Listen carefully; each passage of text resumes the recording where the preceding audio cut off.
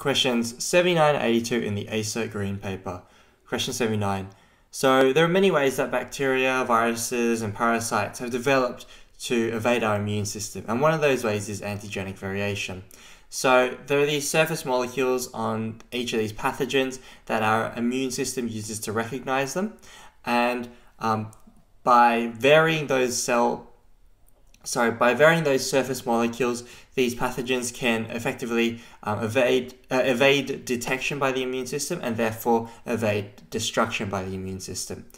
So every year we have, for example, new strains of flu, um, and they have mutated such that they are um, unrecognizable to the immune system and unaffected by the antibodies that were developed for the previous year's uh, flu. Um, but unlike the flu, trypanosomes exist outside of cells.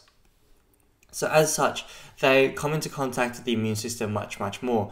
So this means that um, as far as antigenic variation goes, they need to mutate at a much faster rate to evade the immune system which they come into contact with much, much more. And this is so fast that uh, day 20 trypanosomes uh, will exhibit antigens on a surface that are so different from the day 3 trypanosomes that they need a new set of antibodies to recognize it.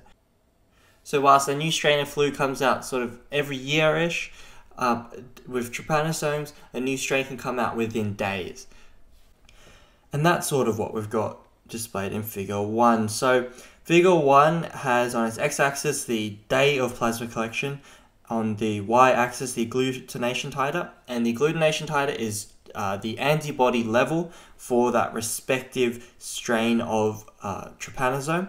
And we have a number of lines, and each of those lines corresponds to a strain of trypanosome. So um, if we take a look at the x-axis at around day 7-ish, we have strains 3, 5, uh, 3, 5, 7, and 4. And that is the level of antibodies um, being produced against each of those strains of trypanosomes at a certain point in time. So, question 79 antibody to trypanosomes most likely appeared in rabbit blood on day.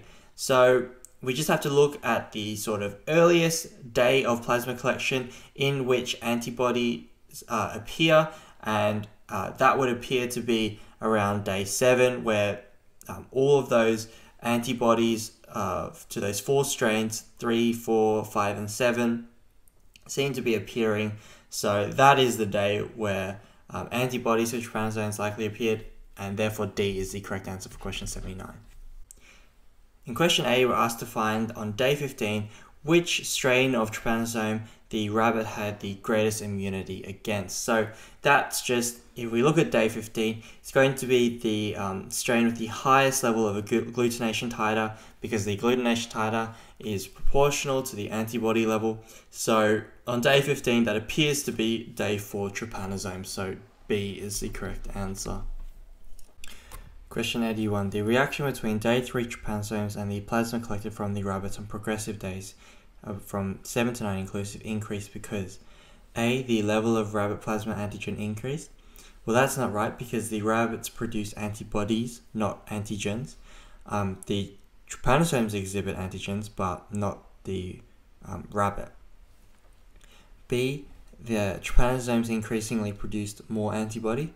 Um, again, the trypanosomes are not the ones producing the antibodies. The rabbits are producing antibodies, so it is um, the wrong way around again. C. The level of antigen on day 3 trypanosome is increased. Um, or each trypanosome is going to have a constant level of antigen being expressed, so C is incorrect. And D, finally, the only answer left, um, antibody against trypanosomes increasingly appeared in the rabbit's blood. Well, we definitely know that's true as demonstrated by figure 1. So um, for question 81D is the correct answer. Question 82. According to all the evidence provided, which one of the following best explains the alternation between episodes of severe and mild symptoms of sleeping sickness? So, we know that trypanosomes go through these really rapid stages of uh, antigenic variation where it's always changing its um, antigens very, very quickly. As such, numerous strains appear um, over the course of a couple of days. So every single time um, a new strain of trypanosomes appears, the body has to take a little bit of time to produce antibodies against that strain. So for that small window where um, a new strain has appeared and um, the body is still making uh, antibodies against that strain of, um, of trypanosomes, the trypanosomes have a little window where they can sort of thrive and really um, multiply a lot. And the severity of illness is going to be um, in proportion to the number of trypanosomes that can freely um, move around the blood.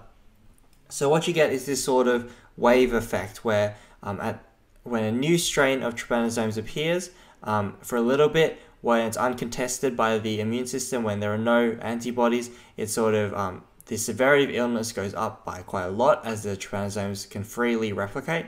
But then, as the antibodies come online and um, the body manages to adapt and produce antibodies against that strain of trypanosomes, well then um, the trypanosomes can no longer thrive as well and multiply multiply as easily. So um, the severity of illness goes down as the number of trypanosomes also goes down.